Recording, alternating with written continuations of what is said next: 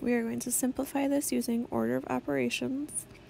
The first thing we're going to simplify is the 11 times 7 in the parentheses that are within the brackets.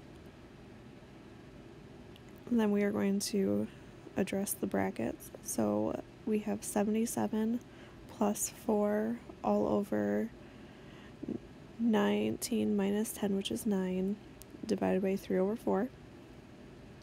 We can further simplify the brackets to 81 over 9 divided by 3 over 4. Next, we are going to simplify 81 over 9, so that's going to be 9 over 1 times 4 over 3, and we get a final answer of 36 over 3, which we can then simplify to 12.